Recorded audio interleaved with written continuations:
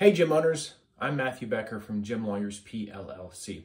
I want you to pause this video and I want you to log on to your business bank account and check the balance. Now, if you actually have any money in your business bank account, good. That's a great start. Next, I want you to add up all of the outstanding liabilities in your business. Do you owe any debt? Do you have a loan out there? What's your, your lease agreement?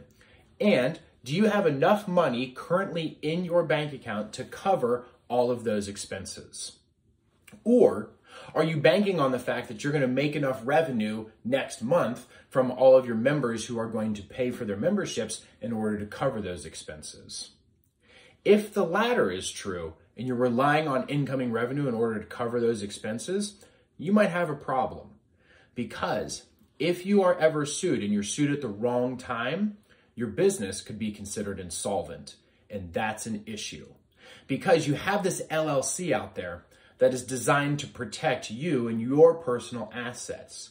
But if you're running a business that is insolvent, then a court of law may allow somebody to get by that LLC in order to get at your personal assets. So the LLC may not be doing its job.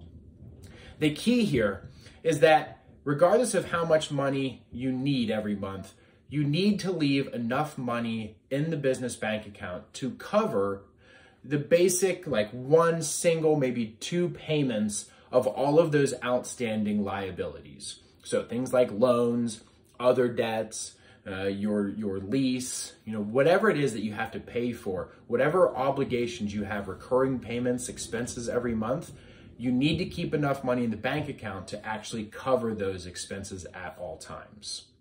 Right? Any issues with that? Go ahead, reach out to us at gymlawyers.com.